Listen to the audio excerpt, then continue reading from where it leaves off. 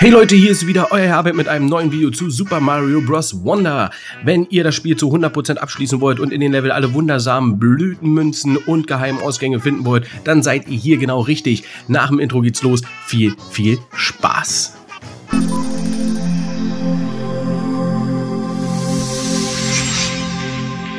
Wow.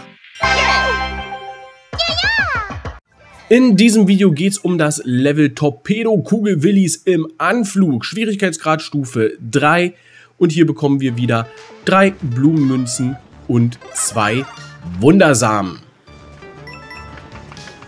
Macht euch mit den Kugelwillis äh, ein bisschen vertraut. Ihr werdet viel surfen auf denen und aktiviert immer die Blumen.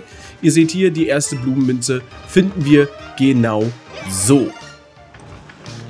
Kommt ihr dann an der Röhre an, winkt kurz danach die Speicherfahne, geht hier aber nochmal zurück oder vorher halt einfach nicht rein und geht ein Stück nach rechts. Ihr seht hier auch die Münzen. Über die Torpedo-Kugelwillis können wir hier die zweite Blumenmünze holen. Die Fallschirmmütze ist hier das perfekte Abzeichen.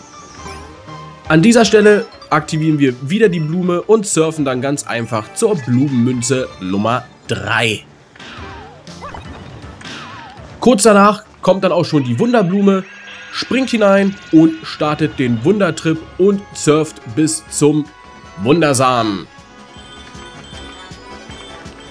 Der ganze Wundertrip ist eigentlich relativ einfach bis auf den Schluss. Da kann man vielleicht mal kurz klein werden. Im Endeffekt holt ihr euch dann zum Schluss den Wundersamen und seid auch schon am Ende des Levels angekommen. Auch hier nochmal wichtig, springt über die Torpedo-Kugelwillis damit ihr oben an die Fahnenstange kommt und auch die goldene Fahne bekommt.